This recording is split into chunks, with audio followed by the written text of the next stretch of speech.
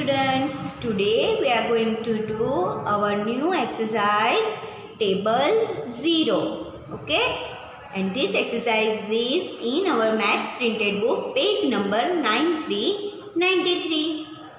Okay okay? यहाँ पे आज हम ज़ीरो का टेबल लर्न करेंगे देन लिखेंगे ओके वन ज़ीरो ज़ा ज़ीरो टू ज़ीरो ज़ा ज़ीरो थ्री ज़ीरो ज़ा zero Four zeros are zero. Five zeros are zero. Six zeros are zero. Seven zeros are zero. Eight zeros are zero. Nine zeros are zero. Ten zeros are zero. Okay. Now let's start to write. One zeros are zero two zeros are zero, three zeros are zero. four zero four zeros are zero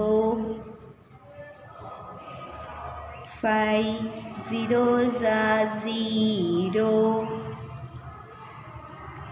six zeros are zero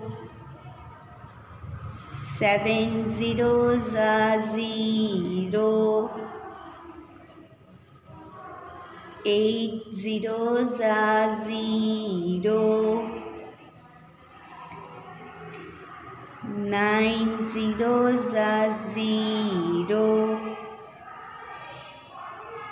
ten zeros are zero so kids we get to know that if you multiply any number with zero we get zero okay it means अगर हम किसी भी number को zero के साथ multiply करेंगे तो answer zero ही आएगा Okay, this way you have to complete this page. Thank you.